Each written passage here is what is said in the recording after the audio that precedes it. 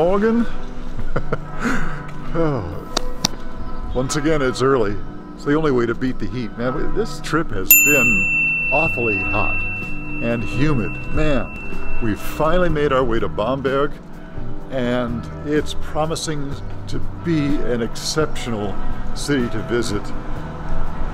We got here late yesterday, so we haven't seen much, but boy, just getting out, it looks super. Looking forward to this visit.